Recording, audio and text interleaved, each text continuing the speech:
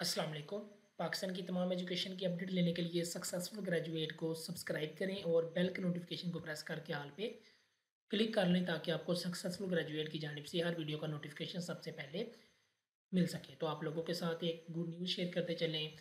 Punjab university ने एक notification जारी किया है, जो एसोसिएट डिग्री प्रोग्राम है, यानी कि A D A D S और ए डी सी उसको अब एनुअल सिस्टम ख़त्म करके उसको सेमेस्टर सिस्टम में कर दिया जाए। यानी कि पहले सालाना इम्तहान होते थे साल बाद।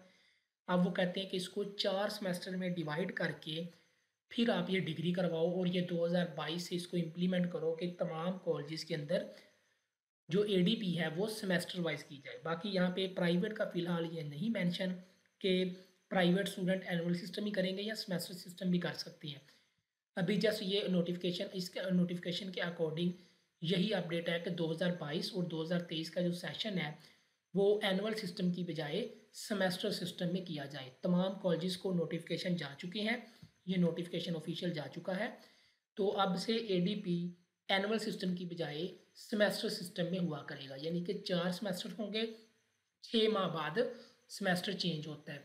तो चार सेमेस्टर होंगे तो आपकी ए डी पी कंप्लीट हो जाएगी, यानी कि ग्रेजुएशन के इक्वल हो जाएगी। बाकी यहाँ पे फ़िलहाल जो प्राइवेट कैंडिडेट हैं, उनके लिए अभी फ़िलहाल कुछ भी नहीं लिखा हुआ। बाकी फ़िलहाल इन जैसे ही ये रजिस्ट्रेशन का प्रोसेस स्टार्ट होता है, तब सारा कुछ मज़ीद क्लियर हो जाएगा, जो भी कन्फ्यूज़न है।